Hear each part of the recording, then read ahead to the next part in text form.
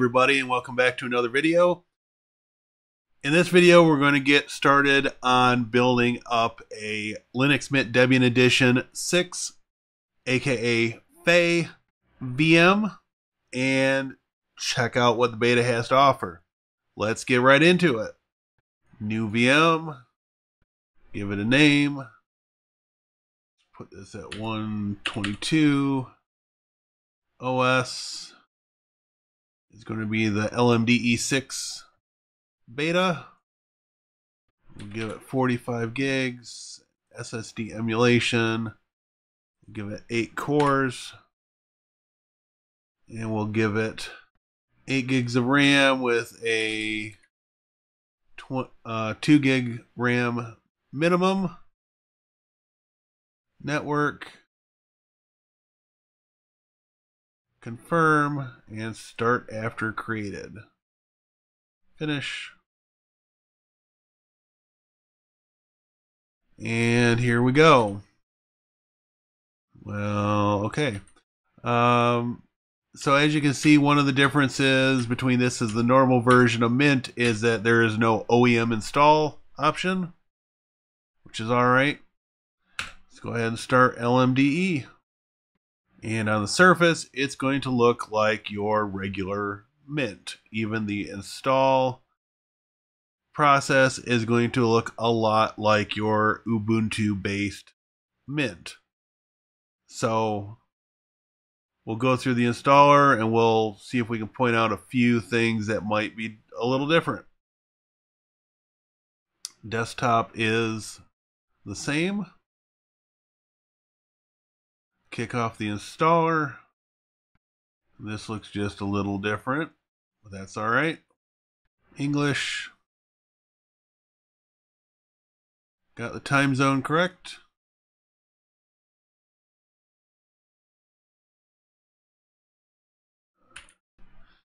Okay, we'll do that.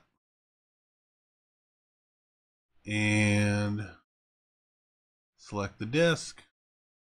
Not going to use LVM. It does give us a manual partitioning option.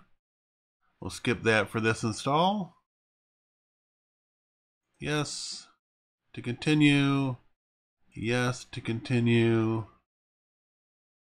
And that is fine.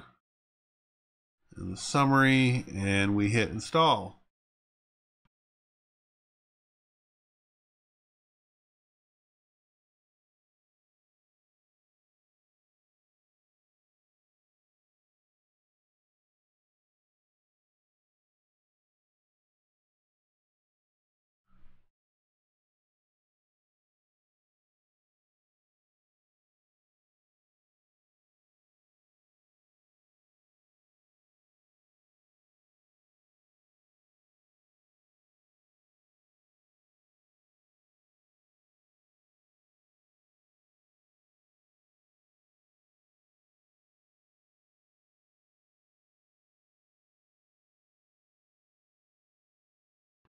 And we're ready to reboot. Say yes. Go ahead and remove our ISO from the virtual optical drive and enter to continue. And in approximately 10 minutes and 30 seconds, we've gone from zero to the first boot dialog. So we can take a look at this. This is pretty much the same as the Ubuntu based version. Of course, we can change the desktop background and they have many of the same wallpapers here. All right. So we got some retro Commodore stuff here. Commodore PET 64C. It's all good there. Uh, let's open up a terminal. Get a little bit larger. Okay, does have asterisks in the terminal by default. do this. Shouldn't be too many updates. Uh, we did get some errors. Very interesting. Failed to fetch packages from linuxmint.com. Uh-huh. Interesting. But let's take a look here.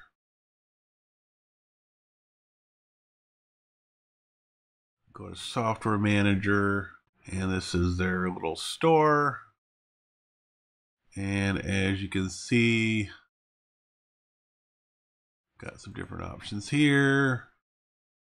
Mint install 828. That all looks pretty normal. Uh, let's see what we've got under administration, disk usage and uh, analyzer, print settings, software manager, software sources. Okay. Main is going to be packages.linuxmint.com. There's a better Aha, these are all showing unreachable. That explains why we got the errors in the terminal. What are we saying over here? Speed is zero. Okay, do we have an IP address? We do not have an IP address. So, that's going to be an issue. I wonder if we can fix this. So let's shut her down.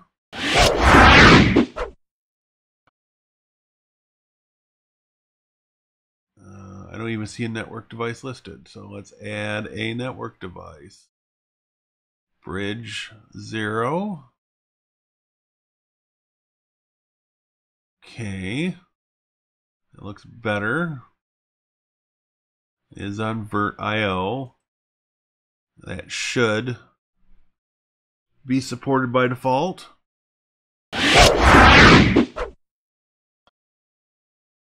Wired is showing as active.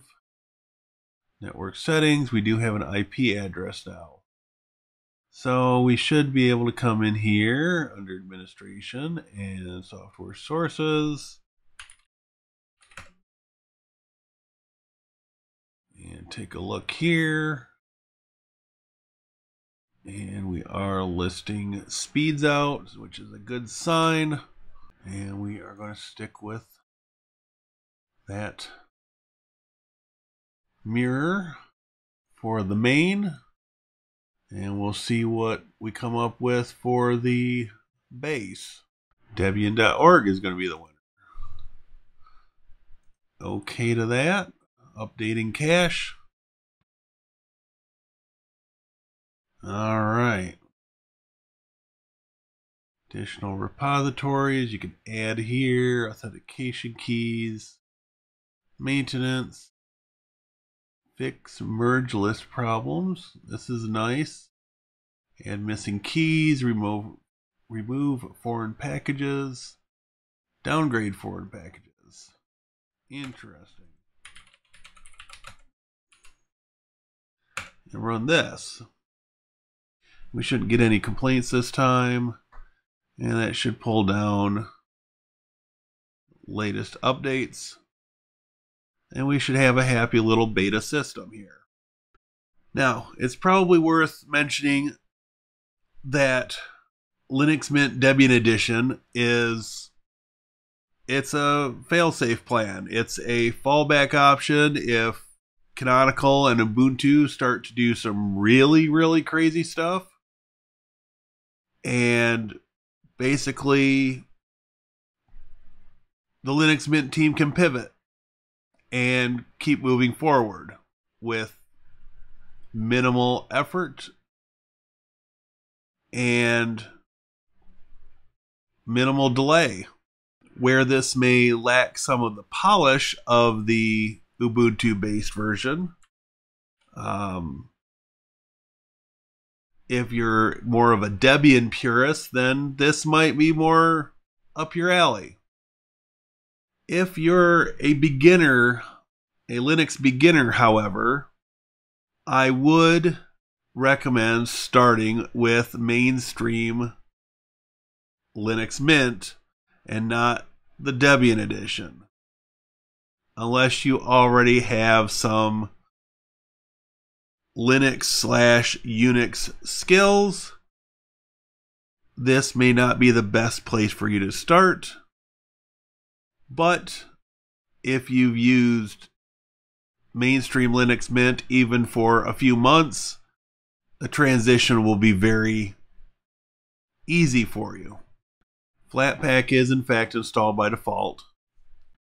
The SS OpenSSH server is not installed by default. NeoFetch is there.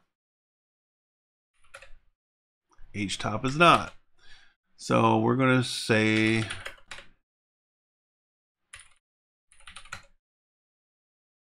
get those two important packages installed. And on 8 gigs of RAM, we're using 974 megs. Get a little larger so people might be able to read it. Uh, it's ballooned up to 983 megs. Very, very low load on the 8 processor cores. 91 tasks, 205 threads. Not too bad. And as you can see from NeoFetch here, we're running LMDE6. Kernel is 6.1. Got 2080 packages installed via D package. It's running Bash 5.2.15, Cinnamon 5.8.4. Uh, list your themes and your window manager stuff. Uh, CPU is QEMU Virtual version 2.5 plus. And memory is using 1002 megabytes out of 7940. Uh, Firefox is at version 117. That's not bad. Thunderbird, on the other hand, is on the old 102 version, which is kind of disappointing. And LibreOffice Writer, let's see what we've got here. 7.4.7.2. Uh, 7.6.1 is the newest version as of the recording of this video. Not terribly old, but not cutting edge. So the other test I normally do is to see how easily a given distribution finds and installs my printer.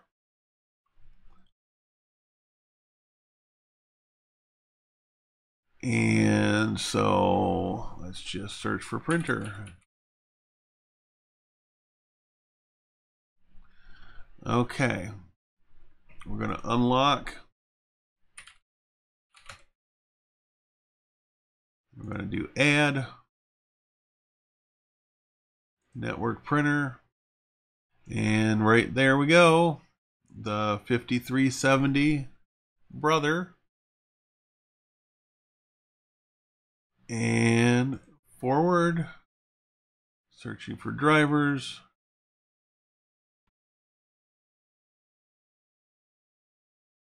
And that works for this particular test. We'll print a test page. I hear that the background firing up, so we're good to go there. Look at properties for the printer. And everything there looks good. Marker levels are not reported for this printer. That's kind of a bummer, but uh, that's all right. Okay, so we've got a printer installed. We've got. What do you all think? Uh, for a beta version, I think this looks pretty solid. I don't have any real reservations of running this on a physical machine for a while to do further testing. And in fact, we might put it on that Beelink EQ12 N100 machine just to see how it runs. And especially compared to how Windows 11 runs on that machine, which is okay but not great. Uh, given the lower resource overhead of Linux compared to Windows, I would expect this should do quite nicely on that machine. But for now, I think we've got a solid base to work with, and we can build on top of this as we approach the full release of LMDE 6. That does it for this video. Let me know in the comments what you think about LMDE 6 beta and if the differences from the Ubuntu version is enough to make you try it or make you stay away from it. I'd be interested in learning more and if you've got something special you'd like to see in a video about LMDE 6 as we lead up to the production version, let me know that as well. And on that note, thank you for watching. Have a great day.